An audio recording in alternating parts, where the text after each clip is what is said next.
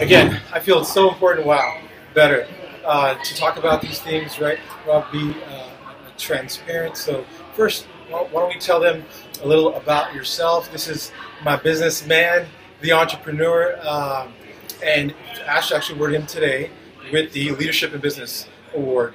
Um, and tell me a little bit about yourself, Rob, as if we were meeting right now.